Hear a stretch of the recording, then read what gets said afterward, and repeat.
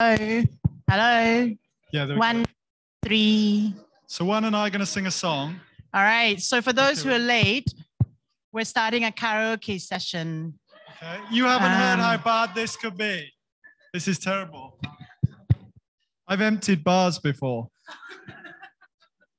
I wanted to check. Remember earlier today, I was saying if you could sit with folk from your country cluster. Oh, is it now?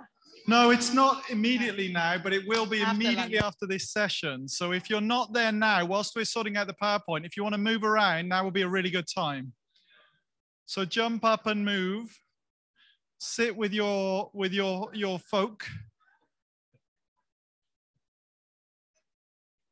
Find your people, sit with your people.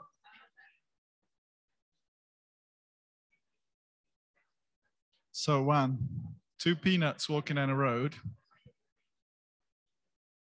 It's not on. Hello.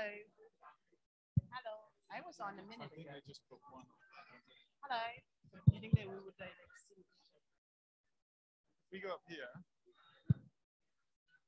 It's got it.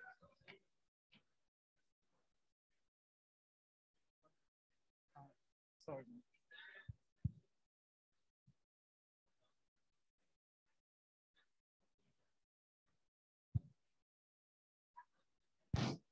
Hello? Okay, perfect. Charlie, what happened to the one that work at the global level? Where do they sit?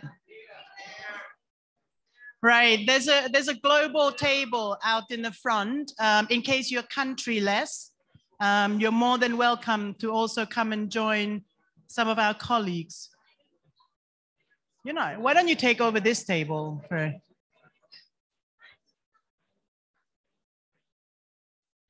All right. Is this kind of like gerrymandering? I mean, is this what they call? Um, you have the Nigeria table here. I see clearly this is Syria, Gaziantep, cross-border. We have global colleagues. Is there anyone else from Latin America? All right, over there. Yes, friends. Uh, we have colleagues working at the global um, level in the front, in the corner here.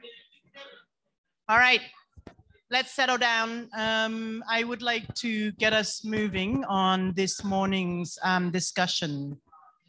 So I hope that you enjoyed the, the morning sessions and the breakout sessions. And one of the reasons that we plan it this way was um, was just noticing also how much information we collect, and also like you know maybe sometime how little of it we actually use, um, and the different people that camp managers actually have to engage with in order to like share information, receive information, do analysis, process. Please settle down. Thank you. Yeah, we can take pictures another time. So we want to make sure that all of you also talk and discuss and reflect on things around like the data that you're collecting. We talk a lot about like information is power and what does it create when you are the one holding the information. So have you ever been in any assessment where you would feel uncomfortable providing the information that were being asked of people being assessed? Shows of hand, please. Like Danny, what kind of information would you have been uncomfortable providing? Sexual orientation. Sexual orientation. Even in our staff survey, I don't put my um, gender or sexual preference. Um, anyone else? Was there any information that you would feel uncomfortable providing while you're collecting them, Robert? Right, income and livelihood. How much money do you earn? Yes, Kamal, shout it out. Uh, sometimes when secure situations, it's very sensitive. So sharing uh, location of IDPs, uh, so that also considered, as, you know, some. Ah. Share the information you collect, but you would be uncomfortable sharing. okay. Bank account. But address, address, yeah. Yeah. Um, would you say no? Sorry. It depends. Depends on what? Who's asking? What is it for? But would you feel comfortable saying no? Like, no, sorry. Like, do you just say agree on those kind of, you know, do you agree with these things and data we're going to collect when you sign up on Facebook? Right. Sometimes it's not an option. If I say, you're right, but it's if you don't give me the information, I, I can't give you food. You know, then then what's your choice? Then who has the power? and sometimes it's not clear how it's going to be used afterwards not just the person but how that the how that data is going to be used in the future or how it's going to be stored or transferred in the future absolutely i mean yeah like we say oh by doing this you're consenting to x y and z right? So today um, we have two colleagues. Um, we have rob who co-chairs um, a working group on data responsibilities um, together.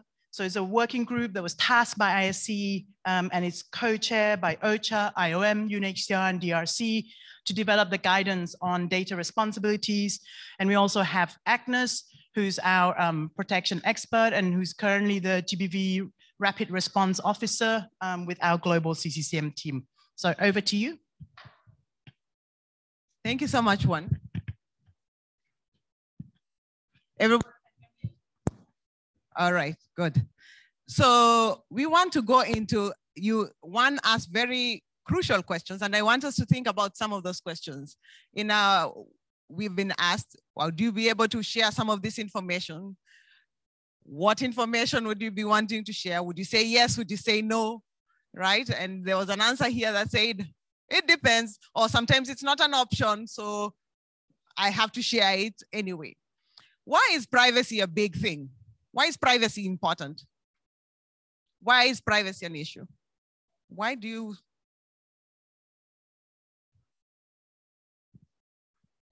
He said because it can be used against us. And also the online, the team online, you can type on the chat and we can pick up I your think- response. So it can be used against us, yes? I think the answer is in the question The answer is because it's private.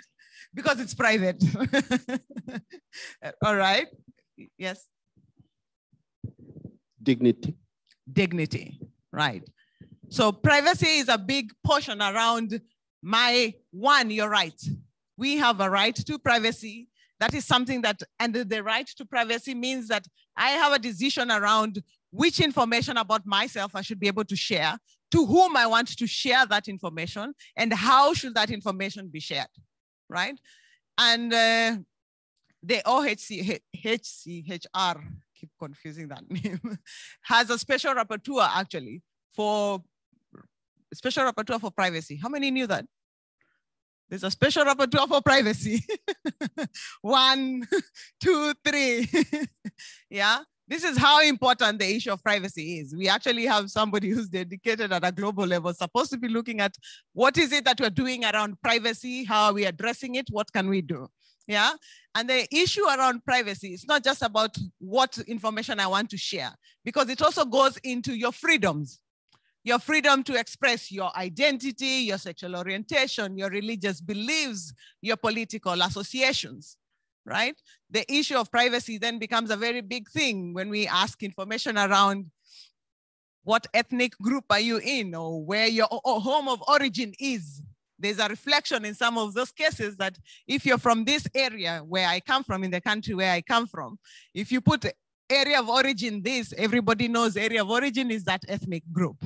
So there are certain connotations around what does that mean and the associations that come with that as well, right? And then we do not want to associate with that or it affects how we associate and the perceptions that people have of us.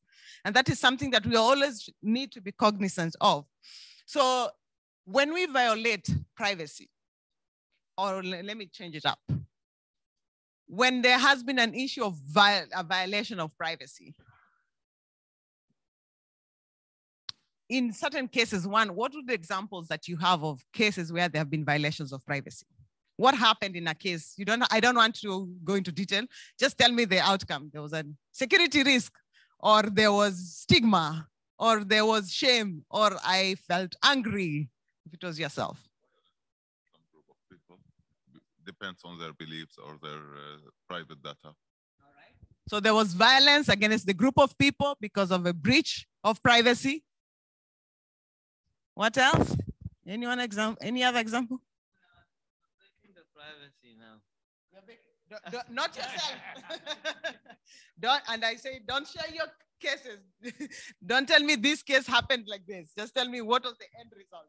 At the end of that, I think uh, somehow stigmatization. Yes. Yes, don't go into details. Just end result. Uh, no, some people have been like, uh, I mean, publicly shamed on social media, etc., for like some personal characteristics. So there has also been public shame on social media, and a lot of us are on social media, right? Instagram, Twitter, WhatsApp. I don't even know what the others are. All right, there are some examples from Mohamed Kordi online says sometimes it's just annoying, like sharing the phone numbers to person that I don't wanna to share with. Very true. Sometimes as a lady, people ask, can you share your number? like 0777700. yeah. In some cases, I used to give my brother's number so that you, you, you call and get there and get my brother. All right, trying to make light, yes. But indeed, phone numbers can be very sensitive. Sharing of phone numbers can mean sometimes that you can get tracked with through those phone numbers. And this is an issue that we need to be thinking about. How do we look at this? And a lot of times, most of our work, we tell people we get consent. True? Right?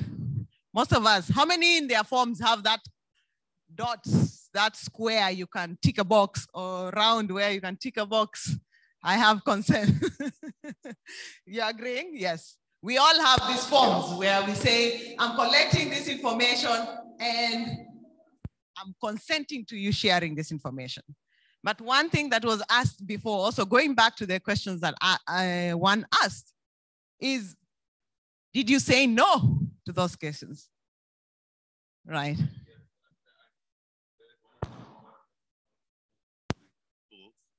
And uh, when I contacted them, they were wanting me to consent that this data I'm putting there, they will use it.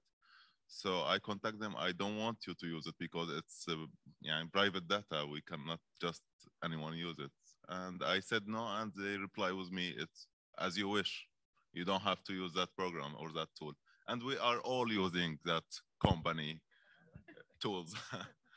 Yeah. So in our cases, a lot of times we have apps on our phones or pop-ups on our computers that come up and say, accept all, reject all, accept with conditions, which ones, yeah? Only the necessary ones. We all have this and we keep changing them. But let's go back to us thinking about the work that we do and the practitioners that we are in the communities that we are and the information we get as practitioners. When you're a CCCM practitioner and getting information in those cases, what happens is that there's a sort of a power dynamic in the communities that we have. We hold the aid, right?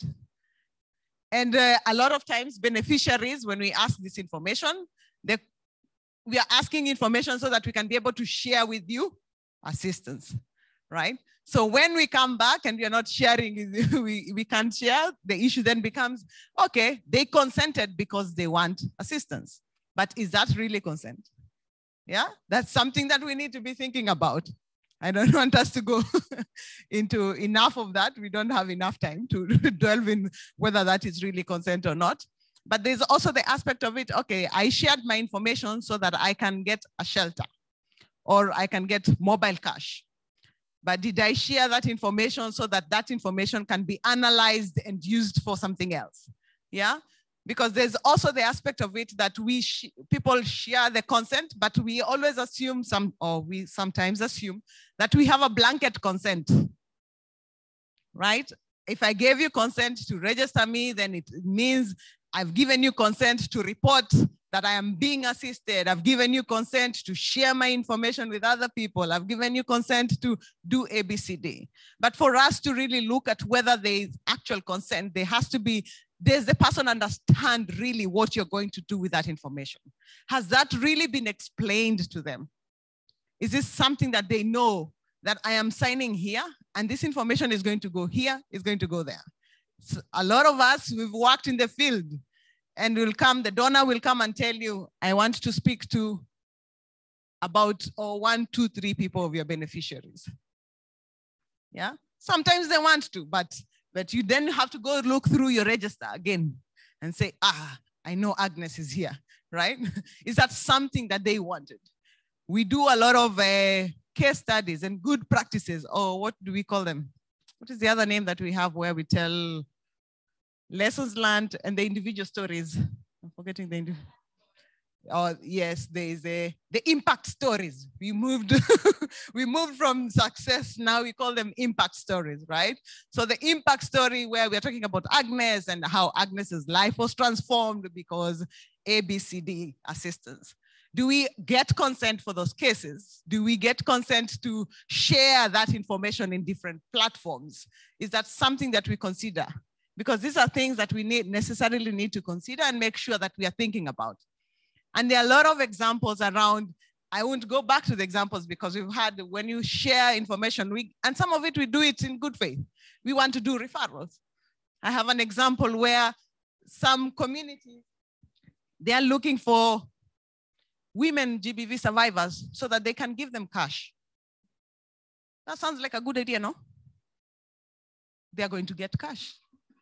But no, it's not a good idea. So again, as the industry standards, we say that's not a good thing. It's going to lead a lot of times to identification, stigma, right?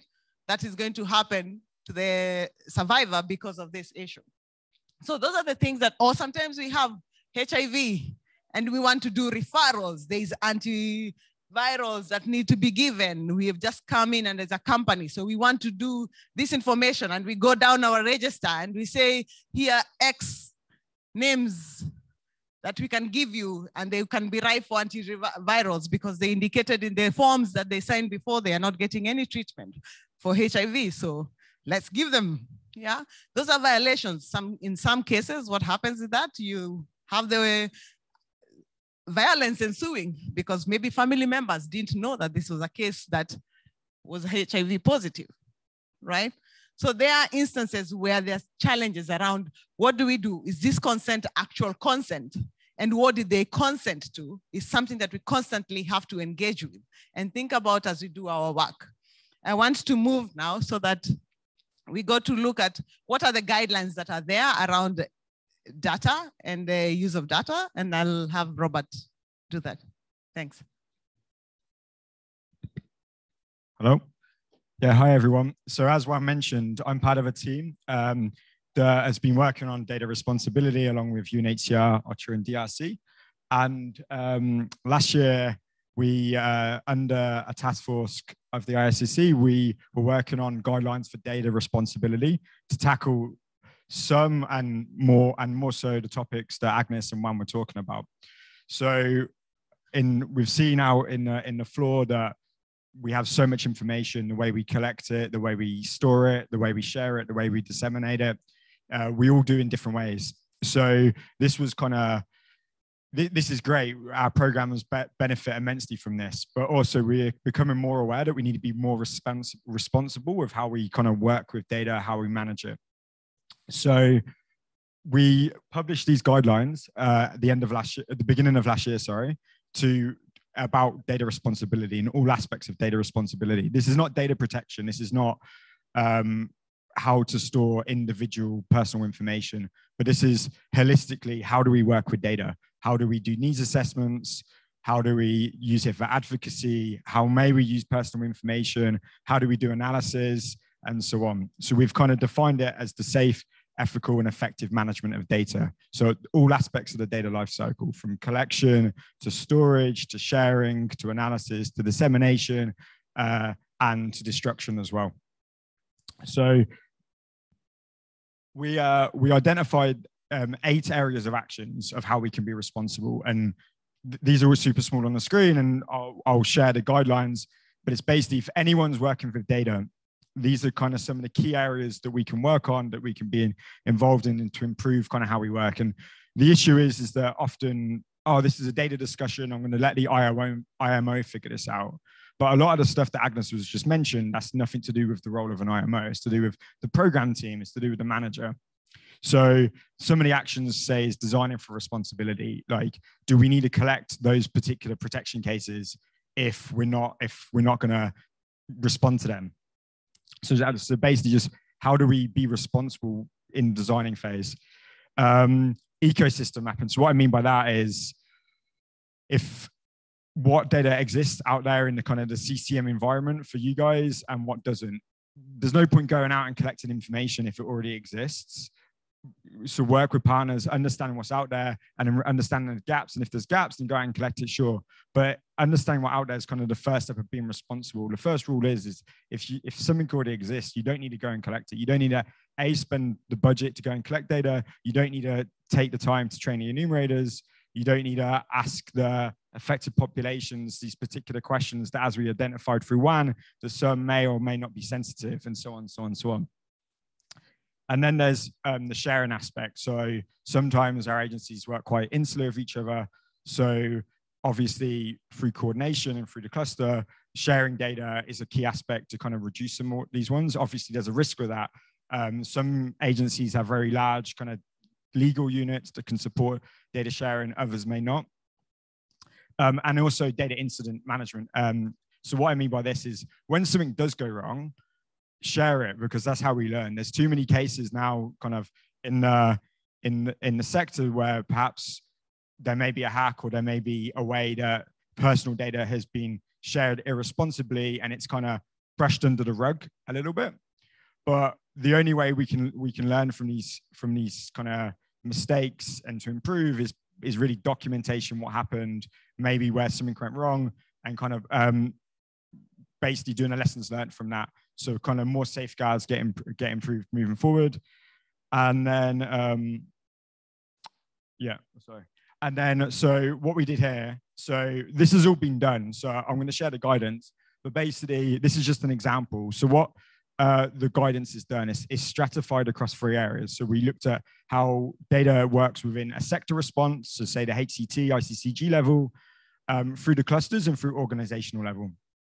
So basically, though the, the set of actions there, we've essentially kind of translated to the recommended approach. So this is quite general. And I should say that during the development of the data responsibility guidelines that took about 12 months, we did consultations with all of the clusters. Brian and Juan were involved from the IOM CCM side, for example, just to really understand that for those particular actions that would be consistent, whether you're at HCT level whether you're at a particular cluster, CCM, shelter, whatever, or organizational level. But then the approach would vary uh, would vary immensely. So um, yeah, how you do designing for responsibility, say as IOM for a particular cash program, that would be very different than if you're working cluster and you have to involve other actors and so on, so on, so on.